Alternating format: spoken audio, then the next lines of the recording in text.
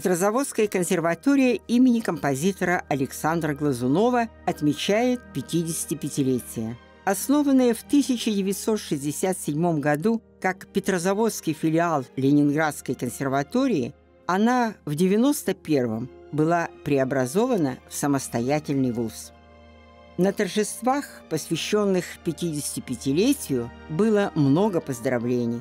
За эти годы консерватория завоевала авторитет как центр подготовки высококвалифицированных специалистов, центр концертно-исполнительской и научно-методической работы в России и за рубежом.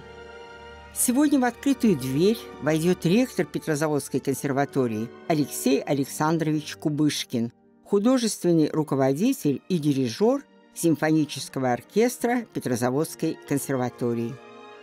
Начало нашего разговора с ректором состоялось на уроке по классу дирижирования. Октябрь уж наступил, уж роща отряхает.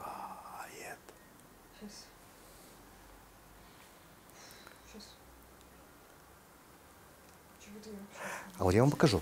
Вот что вы это пропускаете. Вы пропускаете, где у нас тенор делится на два. Последние. Да.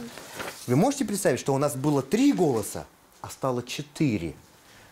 Это должно быть для вас маленьким событием, а может быть и не маленьким, потому что вдруг четыре голоса. Тенор был один, а стало два тенора. Поэтому в этот момент не только смотрите на альтовый голос, который у вас э, начинает э, петь выдержанный звук, но и тенора, которые вдруг разделяются на два. Для вас это, это должно быть маленьким событием. Ясно, да? Пробуем. Работа с первокурсниками. Сам Алексей Александрович начинал здесь тоже с чистого листа свою работу ректора. А? По-другому же звучит? По-другому, и ухо по-другому. Вы даже, вы даже немножко улыбнулись, потому что вы услышали, наконец, эти два тенора. Его назначили 4 декабря 2018 года на эту должность. Он стал шестым ректором Петрозаводской консерватории. Скажите, пожалуйста, а вы родом из Сибири, да? Да, в, в Омске учился, а потом приехал в Москву, поступил в Российскую академию музыки имени Гнесиных. Вначале на хоровое дирижирование, закончил как хоровой дирижер, дирижер академического хора. На выпускном курсе, на пятом курсе меня пригласили э, хормейстером в прославленный коллектив «Камерный хор», в Московский камерный хор под управлением Владимира Николаевича Минина, патриарха э, хорового дирижирования. Поработал там год хормейстером, через год э, меня пригласили уже работать на кафедру хорового дирижирования в Академии музыки, в мое альма-матер. Для меня это было огромным подарком, для меня счастье работать в таком прославленном вузе. И уже работая на кафедре хорового дирижирования, я поступил в класс к заслуженному деятелю искусств Российской Федерации, профессору э, Владимиру Петровичу Зиви, замечательному симфоническому дирижеру. И уже у него пять лет обучался уже дирижерскому искусству, оперно-симфоническому дирижированию. Ну, а потом приехал в Петрозаводск. Трудно себе представить, какова была бы музыкальная культура и вообще в целом культура нашего края, если бы не было консерватории. Какое огромное количество заявок городов-миллионников э, на то, чтобы в этих городах были консерватории. Но всего в России 10 консерваторий. И Петрозаводская консерватория – это одна из десяти консерваторий. Вуз, который определяет развитие высшего музыкального образования в нашей стране. Все становление этой консерватории проходило на моих глазах. И при моем участии, при участии активном Министерства культуры. Я работала при практически всех ректоров. Но здесь всегда были хорошие ректоры. Здесь и Колоберда э, был замечательным ректором, и Владимир Александрович Соловьев тоже как бы, я с ним очень тесно работала и очень долгие годы работала. Я очень благодарна выдающимся композитором Геннадию Вавилову. При его активном участии создавалась здесь э, финно-угорская академия. Вот 50 пять лет прошло. Сегодня новый ректор, ректор творческий, ректор профессиональный, выпускник Российской академии музыки имени Гметина. В нашем коллективе продолжают работать педагоги, которые уже ну, около 50 лет работают в нашей консерватории, и мы их очень уважаем, ценим, потому что без э, этих педагогов невозможен вуз. В то же время у нас работают и педагоги, которым нет и 30 лет. У нас есть преподаватели, которым, как условно мы их называем, среднего возраста, 40-50 лет. Поэтому в этом вопросе у нас сейчас есть, как мне представляется, хороший баланс – можно так показать, угу. большой труд. Э, за 55 лет все педагоги, которые оставили свой след в истории консерватории, здесь обозначены большая работа большого коллектива. И мне очень приятно, что мы, э, наконец, всех педагогов, которые оставили свой след в консерватории, э, увековечили в этой книге, посвященной юбилею нашей консерватории. Виктор Саулович Портной отметил 50-летие своей работы в Петрозаводской консерватории. Преподает на кафедре специального фортепиано. Профессор, заслуженный деятель искусств России и Карелии. Среди его учеников – лауреаты международных конкурсов. Александр Лубянцев – лауреат международного конкурса имени Чайковского – это его выступление здесь, в Большом зале консерватории, на благотворительном концерте в поддержку возрождения старинного карельского храма в селе Кончезеро. Сейчас Александр Лубянцев – старший преподаватель в родном вузе.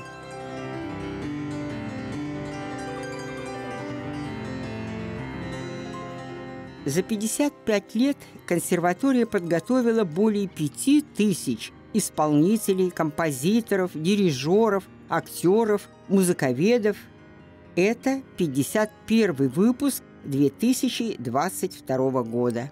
Выпускники Петрозаводской консерватории работают по всей России, в странах ближнего и дальнего зарубежья. Выпускница 2001 года Ирина Дмитриевна Устинова возглавляет Карельскую государственную филармонию – она заслуженный работник культуры Карелии.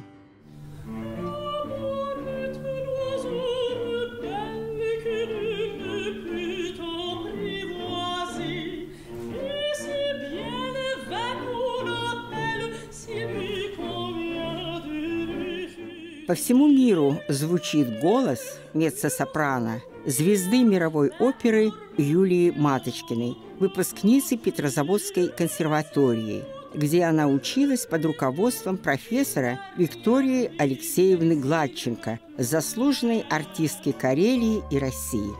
На сцене Большого зала родной консерватории Юлия Маточкина выступила на благотворительном вечере в поддержку возрождения старинного храма в селе Кончезеро. Всего 55 лет, и какие успехи, какой масштаб, какое качество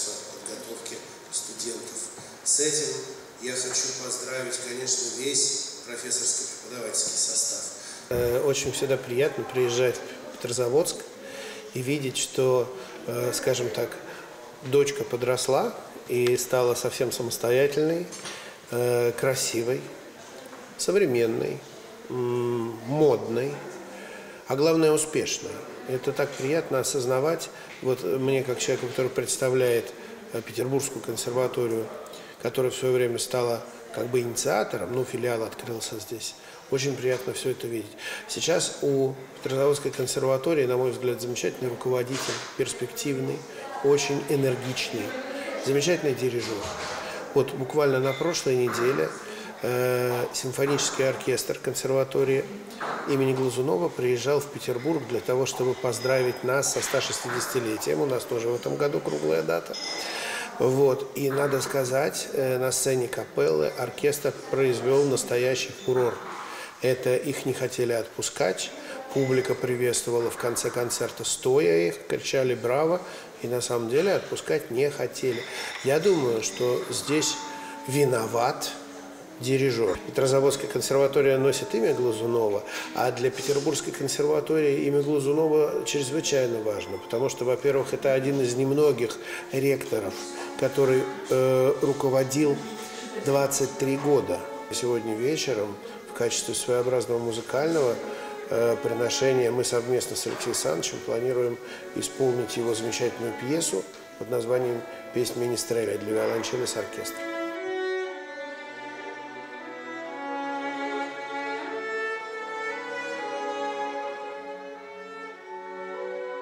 Когда я сюда пришел, здесь было два оркестра, камерный оркестр и симфонический оркестр.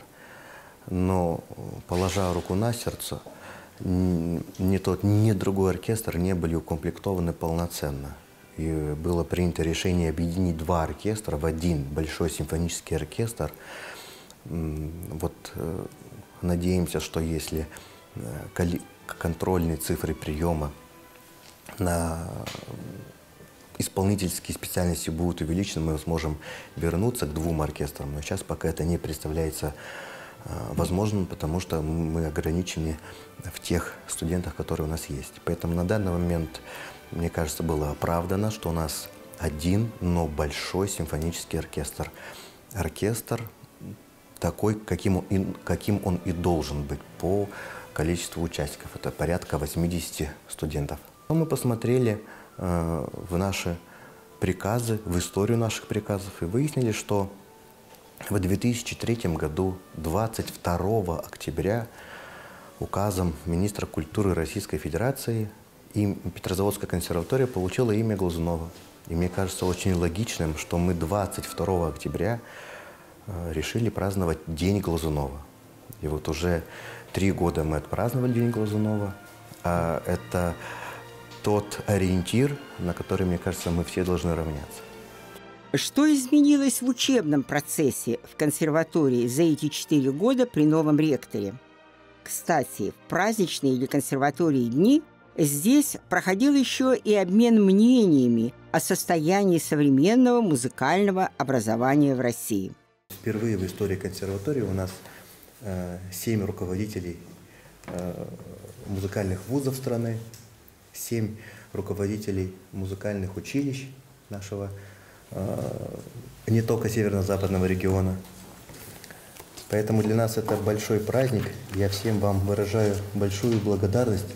Цель этого круглого стола была услышать не только проблемы высшего музыкального образования, а также проблемы среднего звена и, конечно, наша музыкальная школа. Самая большая проблема это проблема, наверное, не только музыкального образования, это недофинансирование.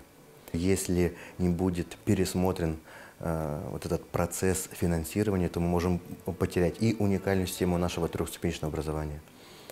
Потому что э, наши выпускники вузов не хотят идти работать э, в, средней, э, в средней профессиональной организации, потому что там очень маленькие заработные платы.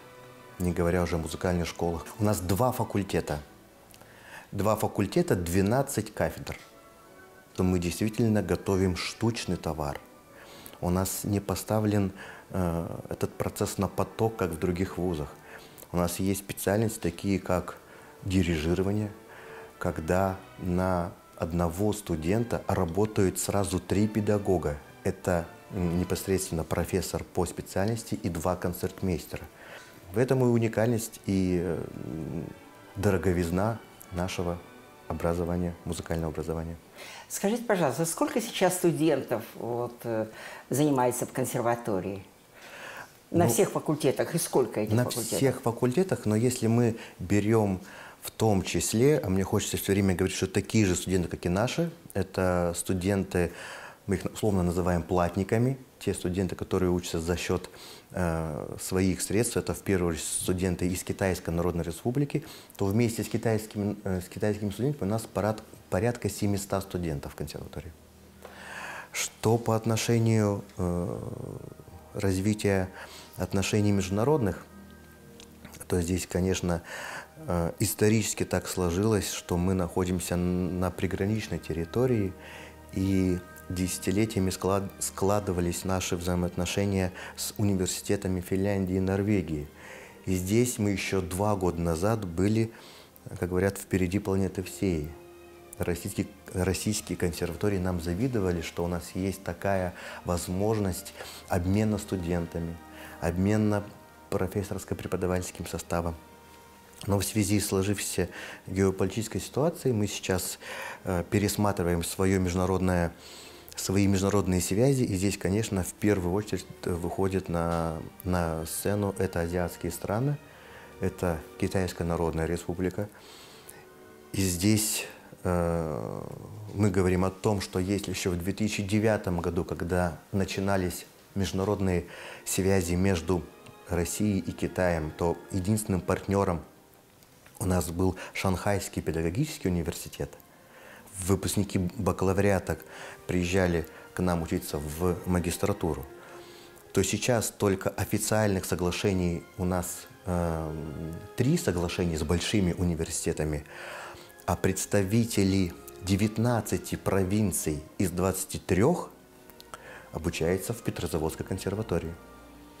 И на данный момент количество студентов из Китая э, вместе с подкурсом у нас доходит до 200 студентов.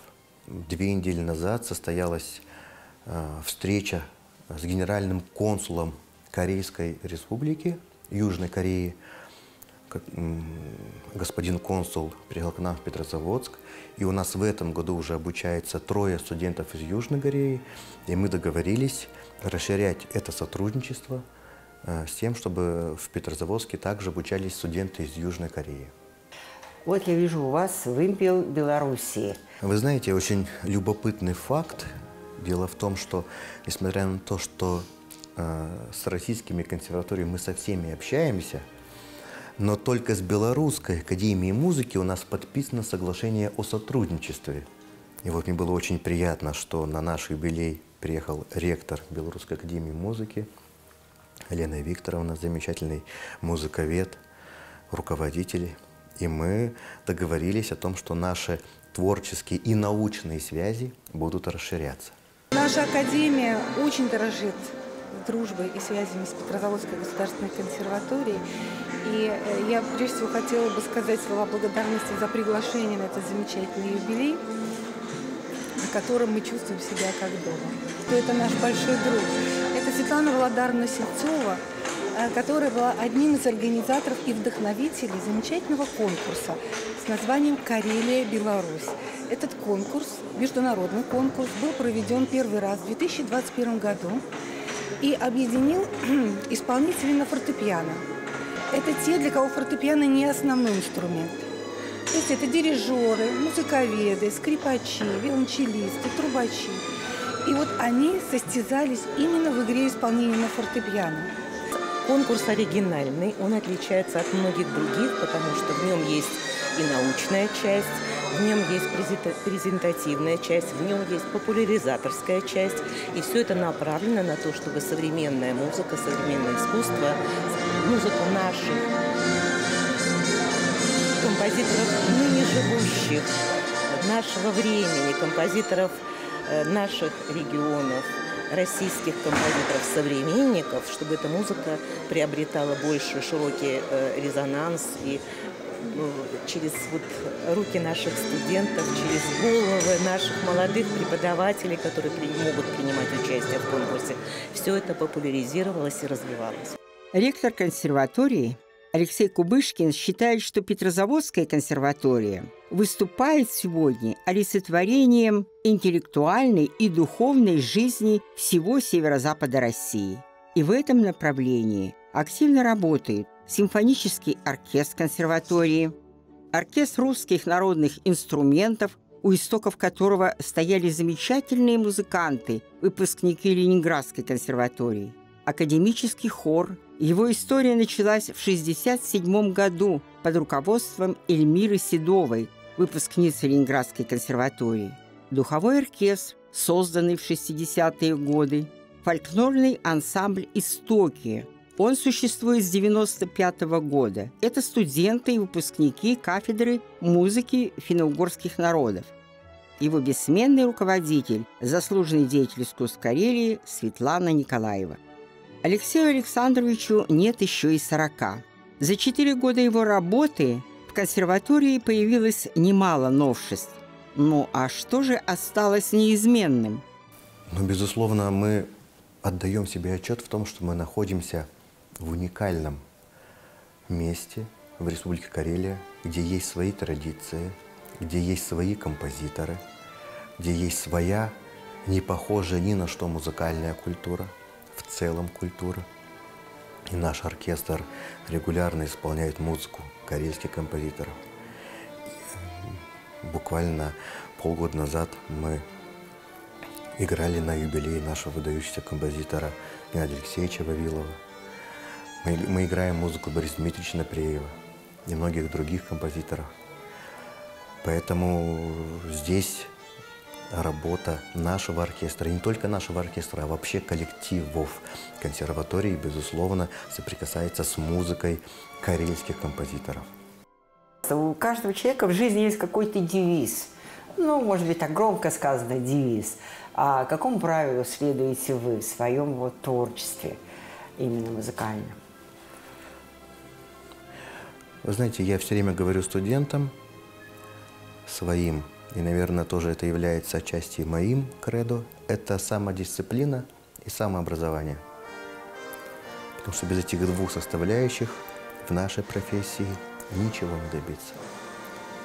Какими бы вы ни были талантливыми, одаренными, спасибо родителям за вашу природу, но без труда ничего в нашей профессии, да, я думаю, в жизни не получится.